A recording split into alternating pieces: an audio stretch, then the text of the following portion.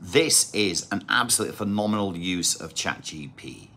I can put in any standard or higher level IB chemistry topic, ask it for 10 multiple choice questions, and then ask it for the answers.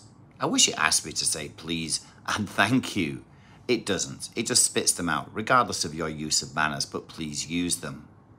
I've tried it for organic chemistry, I've tried it for atomic theory. At standard and higher level, I would say that this is highly accurate. These questions have not been asked by the IB before, and these are just absolutely fantastic for your own private study and reflection. Maybe you can have a chemistry study party with your mates and you can battle off who can answer the most. There is a limit though.